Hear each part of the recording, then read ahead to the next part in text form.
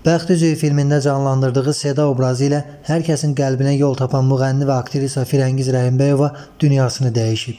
APA TV xəbər verir ki, bu barədə rejissor Namiq Şirəlbəyov məlumat verib. Onun sözlərinə görə aktrisa ürək tutmasından həyatını itirib. Qeyd edək ki, 62 yaşlı Firəngiz Rəhimbəyova uzun illərdir Amerikada yaşayırdı. O 1960-cı ildə Ağdamın Şişpapaqlı kəndində dünyaya gəlib.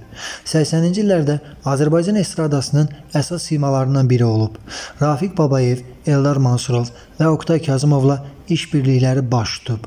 1999-cu ildə Amerikalı arxitektor Raymond Anthony ilə ailə qurduqdan sonra Los Ancelesə köçüb.